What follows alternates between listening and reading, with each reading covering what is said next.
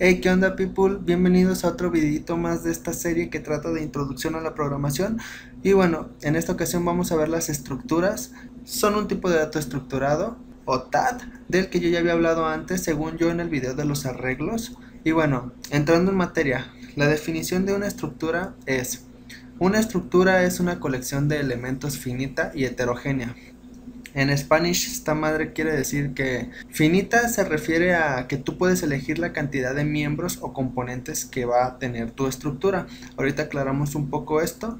Y en heterogénea quiere decir que los tipos de datos pueden ser diferentes, ya sea chart, int, flow, arreglos, etc, etc, etc, etc. Y bueno, comenzamos.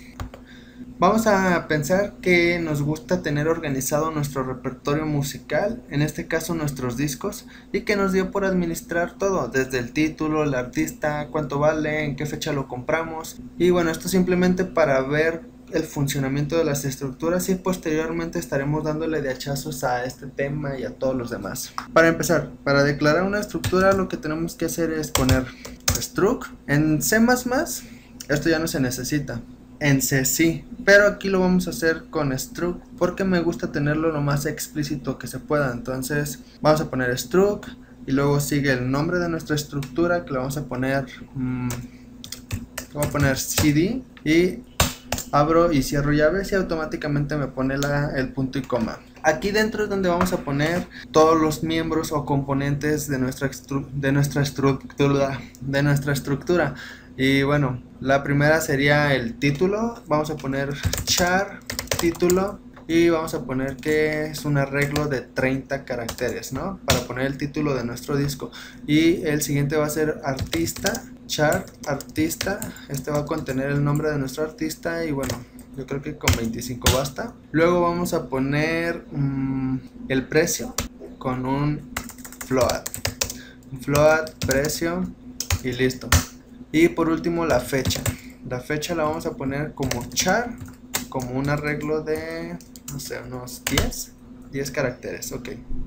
Ahora ya tenemos nuestros miembros, pero para poder almacenar información en nuestra estructura ocupamos una variable de tipo estructura, o más bien una variable de tipo CD, que vendría siendo simplemente poner el nombre, no sé, este, disco 1 y ahí ya vamos a poder guardar disco 1, el título, disco 1, el artista, disco 1, el precio, disco 1, la fecha.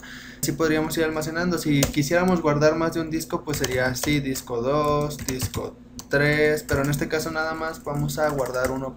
Y bueno, si se fijan aquí ya estamos aplicando los términos de nuestra definición. Es una estructura finita porque nosotros decidimos cuántos miembros va a tener nuestra estructura y es heterogénea porque acepta de diferentes tipos de datos. Muy bien. Y bueno, posteriormente vamos a pasar a ingresarle los datos a nuestra estructura. Vamos a pedir al usuario, en este caso el usuario somos nosotros, ¿quién más? Le vamos a poner que ingrese el título, lo vamos a leer con get y lo vamos a almacenar en disco 1 y para hacer referencia a uno de los miembros de nuestra estructura necesitamos utilizar el operador punto. Y ya nada más escribimos punto título. Y listo ahí estaríamos almacenando el valor en disco 1 título. Muy bien. Y luego vamos a pasar a pedir lo que es el nombre del artista artista y igual lo vamos a leer con gets disco 1 punto artista igual con los demás, nada más que en este caso pues ya lo, voy a leer con scanf. Precio, dos puntos y scanf. Vamos a poner por ciento F, el formato de nuestra variable. Y disco 1 punto precio. Muy bien. Por último, vamos a poner la fecha de compra.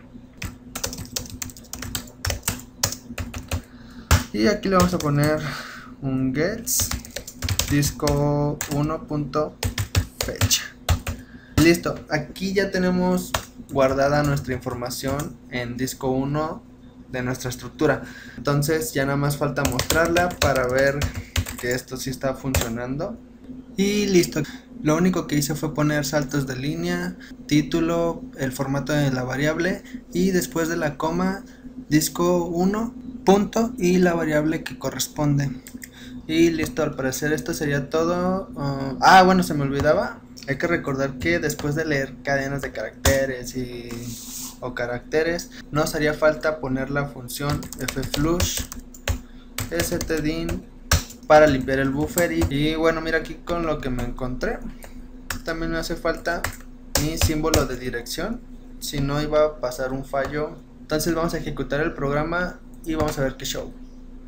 No me dio error. Y bueno aquí ya me pide el título. El título del disco no sería no sé multiviral. Creo que ese es de calle 13 no calle 13 el precio sería no sé cuánto te gusta 90 pesos con 5 centavos con 50 pues. Y fecha de compra me faltó un salto de línea ahí. Fecha de compra sería no sé estamos a 15 del 05 del 14 muy bien Ahora aquí ya me muestra todo lo que almacenamos. El título sería multiviral, artista calle 13, precio 90 con 50. Bueno, ahí nos faltó poner un formato más específico. Y fecha de compra 15 del 05 del 14.